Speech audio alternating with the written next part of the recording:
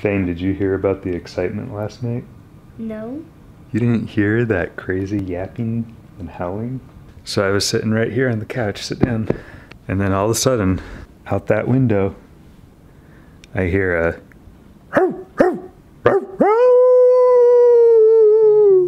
What do you think it was? Mm, a wolf.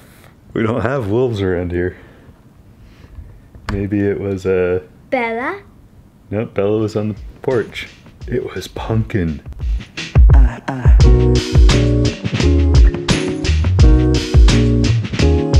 No, I'm kidding. Pumpkin was downstairs, so what else could it be? Maybe it was a bear trying to act like a dog. Just kidding. All right, we well, don't- see, see, that's the thing is, um, unlike some confused individuals, bears just want to be bears. Did you see it? Um, well, I walked out there and I saw it with my flashlight. I saw one of its eyes. Good morning, lovely people. Welcome back to the farm. Last night we had some excitement here. Bella knows, don't you, girl? Hello, girl. Yes. Yeah, so sitting on the couch, all of a sudden I hear a yapping and a howling just down. It sounded like it was on the corner of our property. Sometimes it's kind of hard to tell where things are coming from on our property with the buildings here, and it creates kind of an echo chamber. But going out there with Bella, I am absolutely certain there was something here. I don't know if it was a dog, I don't think it was. I've heard coyotes before, and that definitely sounded like a coyote up close. So I can't absolutely verify what it was, but my best guess is coyote. And Bella picked up the scent pretty quickly down there, and then she took off running in the direction where I had just a minute before seen some eyes. Ugh. Oh my goodness. I had seen some eyes down the road in my flashlight. And so my assumption is we had a coyote just come onto the property or just onto the edge of it and uh, was doing as a coyote does, you know, communicating, trying to send out a signal to determine if this is a uh, if this property's been claimed or not. Probably smelled something from Bella because she goes around marking her territory. But anyway, so it was right down here. Right down here, I heard it. Here's our garden beds, and um, it was probably right there, just across the field drive. I don't know. Anyway, for sure, we had something here, and it was at least of the predator class. It looked fairly large looking at it down the road. We're out here this morning, we're gonna take a look around, see how everybody's doing after the visit from Mr. Coyote. We're supposed to have really high winds today. Now, one thing that I can be sure of is that our sheep are okay. Because they're all locked up in the barn tonight. Nothing's getting in there. Looks like all of our ducks and our geese are okay. But what I can't be sure of is if our meat ducks and their electric netting are okay. I guess we'll have to we'll just have to see. We'll take a look at the sheep and see if they've any of them have lambed first or if any of them are remotely closer than they were before. Did you check on your ducks? Yep. Are they all still alive? Yep.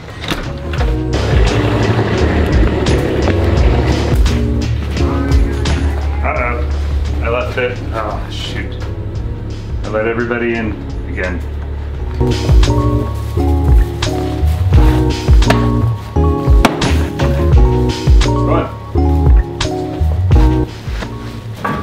we go. Alright, we got them in there. Holy crap, she's about to give birth. We have a lamb thing. Alright girl, come here. We have a lamb thing Okay. coming right now. We have a hoof. All right, I see a nose and a tongue. This is a big lamb. We have two hooves, and we've got a lamb's little mouth and tongue.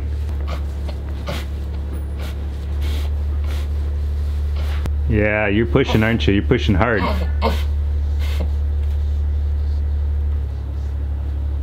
Pushing really hard. Oh my goodness.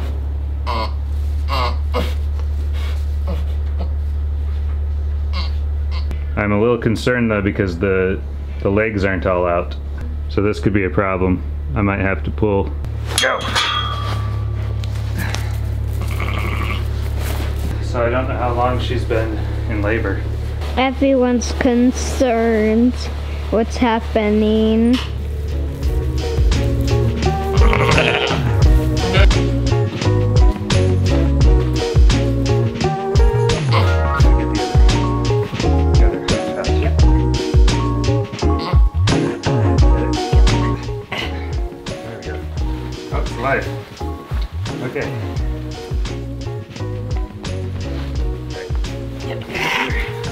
Oh, there we go. Here you go, Mama. It's all covered in blood, kind of. Hey, no. Let's make a home. We make a home. Was that hard, Mama? Look at that steam.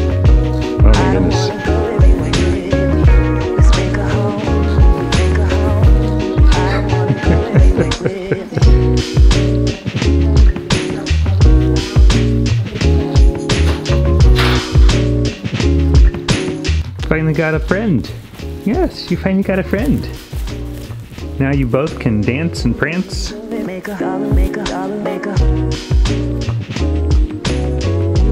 Go make a dollar, make a. Other boy. Yes, you look like Fred too. you look like a baby Fred. It's got a little brown tip on its ear. Do you see that?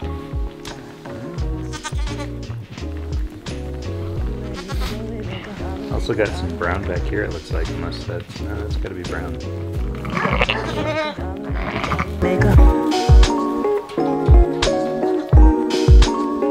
So how exciting is that, guys? We've got another baby lamb, another little buck lamb.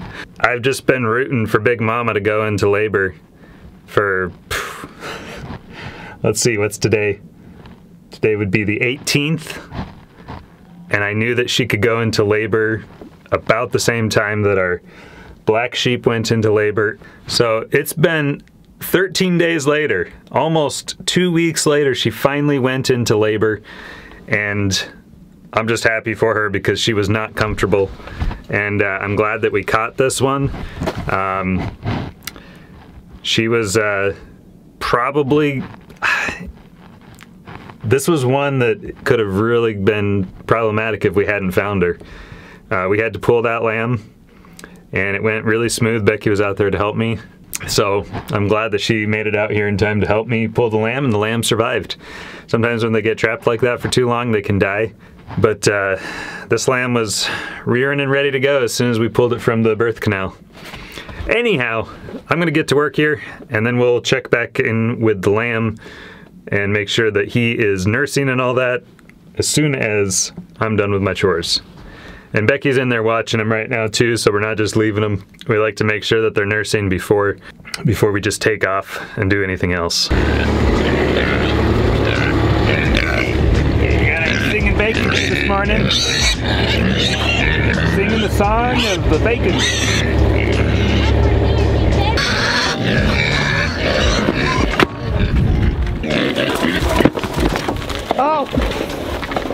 And they go right for it. Yep.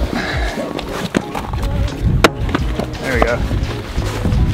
All right, this is the first day of a new uh, feed mix that I had specially made for them because I realized they weren't getting enough protein and they were not getting enough uh, minerals in the last batch. I mean, they were. If I was feeding them enough of it, they'd eventually get what they needed. But there's only so much that you know the body can absorb from the food. Now this is a higher protein and higher mineral uh, count feed mix, and they should be doing really well on this now. They want to eat you soon. They want to eat you soon. Yeah. They won't eat you. Oh my goodness, you touched him. Oh, he moved. Oh no. All right. Parkour. Parkour. Parkour. Yeah, I feel her pain. Very heavy. Oh, there we go. A little bit of drip. There we go. Got one free. Yep, he's almost as big as Buddy. He got his first drink of milk. He started nursing for quite a little while there. He's uh, he's doing pretty good then. now looks like he's taking a little rest before he goes back to nursing again. So everybody's doing good. I think I'll uh, go get the ducks some water and we will check back with her see how she's progressing. She's either going to get rid of the afterbirth or she's going to have another lamb.